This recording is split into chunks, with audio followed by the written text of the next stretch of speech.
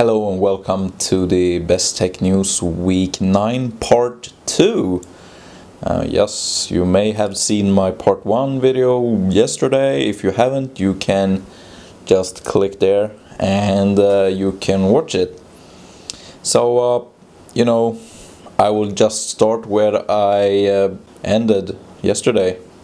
And uh, of course, we have this other news iPad 3 news kind of, you know. And this is some big news for some people. For me, yeah, of course it's nice with technology going forward, but I I won't buy an iPad anyway, so I don't really care about the iPad for myself. But of course, it's nice to see the specs and you know see the uh, future specs. Uh, always nice to see that. And uh, this iPad 3 is now you know official that it will be launched on March the 7th on this Apple event. Um, Gizmodo, Gizmodo was actually invited to that event, so they were, you know, telling us that they will release this iPad 3 on uh, the March of 7th. And that is just a few days from now. Just a few days. Then you will see your iPad 3 and that is nice if you have uh, been starting to get tired of your iPad 1 or iPad 2 you can just get uh, iPad 3 and you know give Apple some more cash. And uh, yeah that's pretty much all for that and we also saw that uh, Nokia is going to launch this uh, uh 808 PureView cell phone, smartphone with Symbian.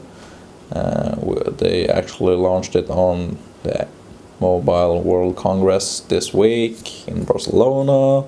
And the, the, the really interesting stuff with the smartphone is the camera it's a 41 megapixel camera and that is just sickness. But I know that you may think right now that 41 megapixel will yeah the picture will be very very big and you know the file size will be over 20 megabytes and stuff like that. But the thing is that Nokia made this really nice. I mean the sensor is 41 megapixel. But uh, the smartphone actually makes this photo 5 megapixel after it's done. And it doesn't lose any quality. That's freaking insane.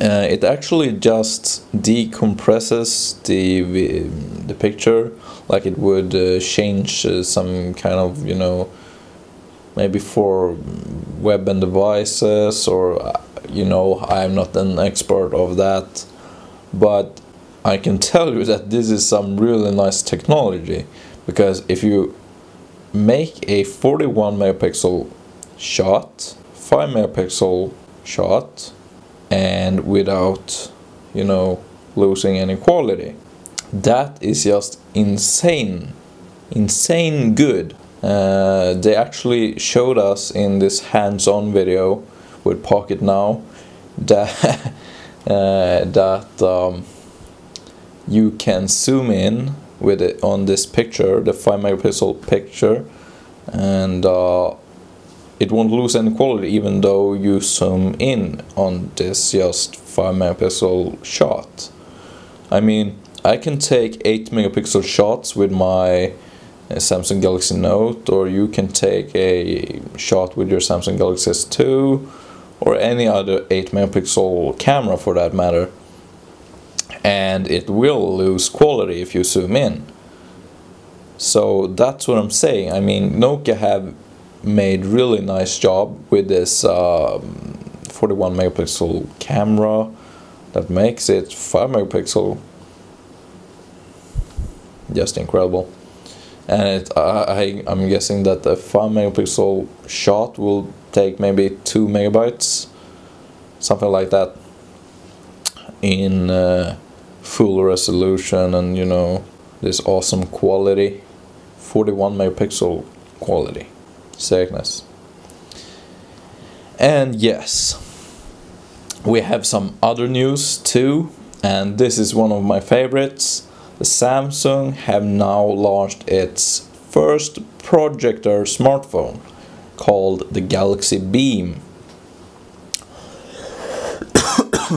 and um, this Galaxy Beam is so incredible that uh, you can have this smartphone like 15 to 2 meter I mean 15 inches to 2 meters away from the target and you can show your friends or yourself uh, videos, pictures, Facebook statuses, everything.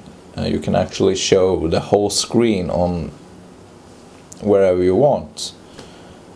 And uh, of course, this is not like ultimate for watching movies and stuff, but um, it's pretty nice if you want to show your you know friends in school or something like that uh, and some you know nice uh, statuses or something like funny pictures on Facebook or on the internet uh, on the wall like maybe one meter away or maybe even more.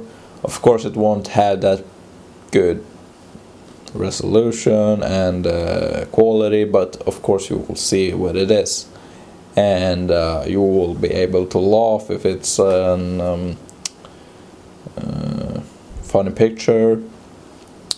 And uh, this little thing here is actually kind of like a budget phone besides the projector. Um, it is a dual core with uh, not too good battery. It's a uh, 2000 milliampere hour battery uh, and if you use the projector it will last like three hours. And that's not too good but of course it will last longer if you don't use the projector. But if you're not going to use the projector there's no point of buying this phone because that's the thing with this phone.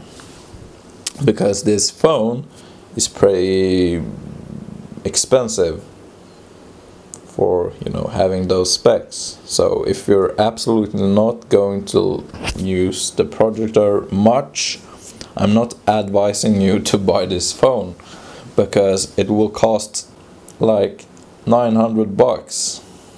Yes you heard me 900 bucks. And that is just sick. And uh, it's also going to come out with ice cream sandwich later on when Samsung have uh, developed their ice cream sandwich for the this phone. And uh, yeah, that's pretty much all for that news. And we also have this HTC Sense 4.0. Uh, HTC have been working on this Sense 4 uh, for probably a year, maybe and what I like with this Sense 4 is that it looks kind of like the Galaxy Nexus ice cream sandwich ROM which is stock ROM you know the, there's no any launchers on the top of the the ice cream sandwich. There's no TouchWiz uh, and stuff like that. So that's what I'm liking with this HTC Sense 4 uh, they got some stuff from uh, HTC Sense 3 like uh, some widgets and stuff like that. And that is pretty awesome because that looks good. And um, yes.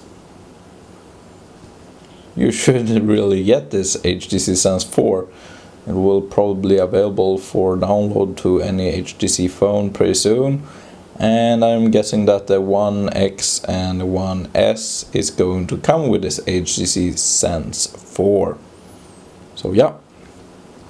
And uh, two days ago there was this launcher called TSF Shell Pro uh, launched by these Asian developers. I actually bought this launcher because I thought it would look pretty nice on my Galaxy Note and of course it does. Uh, but it's pretty expensive. I don't know if this launcher is worth um, like 17 bucks. It's pretty much I know. I just spent 17 bucks on a launcher that ain't you know it's not like super mega good it is good but there are some functions that ain't working too good and they're well it it just feels like they have forgotten some stuffs and that is not nice in my opinion. But otherwise this uh, launcher is pretty nice. You should check it up uh, at least watch my review on the this launcher and yeah. Today is Saturday and guess what? Yes of course we gotta enjoy the weekend. And today I have this like passion fruit soda. Um, this is something I don't really drink uh, very often. Um, probably at least one or two years ago since I tasted this kind of soda last time